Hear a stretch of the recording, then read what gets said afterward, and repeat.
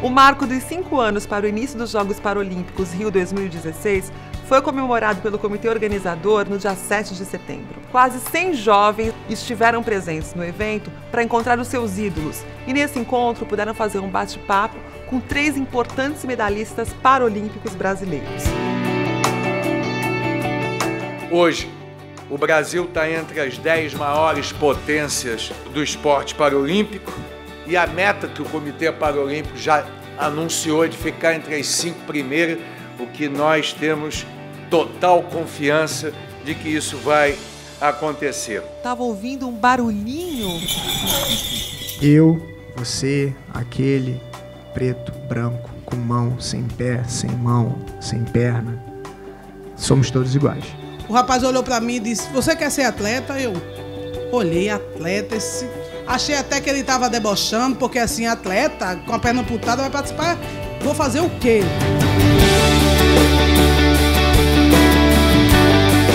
A deficiência está na cabeça de cada um, a limitação está na cabeça de cada um.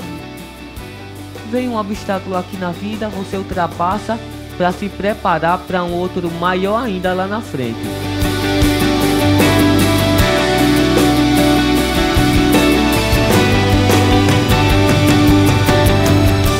Brasil é uma potência paralímpica hoje no mundo. Isso aqui é o, o, início do meu sonho, onde eu pude arremessar e bater o recorde do mundo e conquistar uma casa para minha mãe.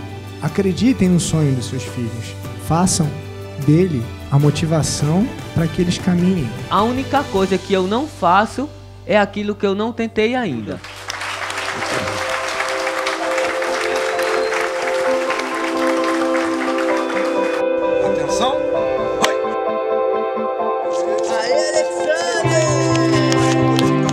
Vou pra prova, né? 400 metros. Pô, me acabei na prova, fiquei terceiro. Minha primeira medalha de bronze, fiquei todo feliz, até hoje eu lembro. Cheguei em casa, meu pai vem e Foi de participação, foi? Eu agora pronto mesmo. O cara se mata pra correr, ele vem dizer que é de participação.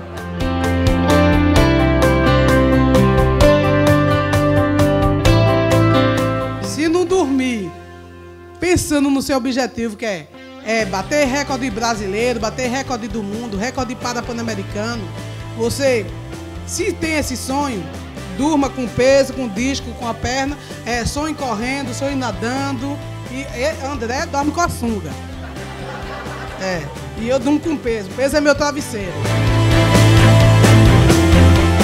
E nós temos uma chance muito grande de trabalhar para nós compartilharmos os valores paralímpicos, que é coragem, determinação, inspiração e igualdade. São esses valores do, do Comitê Paralímpico Internacional. Vocês são todos integrantes deste grupo de milhões de jovens. Nós temos a certeza de que os Jogos Rio 2016 eles são de todos. Essa é a nossa, é uma das nossas missões de deixar esse legado para o futuro da juventude do nosso país. Quero vocês no Rio de Janeiro em 2016.